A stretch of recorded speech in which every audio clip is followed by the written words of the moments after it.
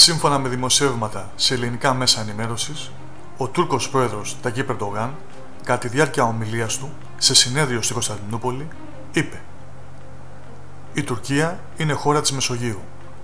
Δεν είμαστε φιλοξενούμενοι, αλλά ιδιοκτήτες. Συγκεκριμένα, ο Τούρκος πρόεδρος είπε τα εξής: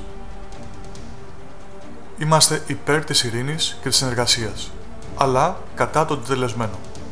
Το πρόβλημα στη Μεσόγειο μπορεί να επιληθεί με συνεργασία όλων των χωρών. Δεν θα υπάρχει ειρήνη στην Ανατολική Μεσόγειο σε οποιαδήποτε προσπάθεια που αφήνει εκτός την Τουρκία και τους Τουρκοκύπριους. Πίσω από τις προβοκάτσιες στην Ανατολική Μεσόγειο υπάρχουν οικονομικά συμφέροντα. Κάποιοι μετέτρεψαν τη Μεσόγειο σε νεκροταφείο προσφύγων. Ω έθνος που είναι η συνέχεια της Οθωμανικής Αυτοκρατορίας, επιθυμούμε να κυριαρχήσει κλίμα ειρήνης στην περιοχή μπορούμε να λύσουμε τα προβλήματα στη Μεσόγειο όχι με αποκλεισμούς, αλλά με όλους τους παίκτες της περιοχής γύρω από το ίδιο τραπέζι. Α μετατρέψουμε τη Μεσόγειο σε μια λεκάνη ειρήνης.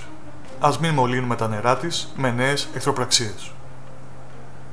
Όσον αφορά την ένοπλη σύγκρουση στην περιοχή του Ναγκόνο Καραμπάχ, ανάμεσα στην Αρμενία και το Αζερμπατζάν, είπε ότι η Αρμενία θα πρέπει να αποσυρθεί αμέσως από τα εδάφη των Αζέρων που έχει καταλάβει και ότι έχει έρθει η ώρα να δοθεί τέλος στην κρίση στον Αγκόνο Καραμπάχ, αποσχιστήσα περιοχή στον εσωτερικό του Αζερβαϊτζάν που διοικείται από Αρμένιους.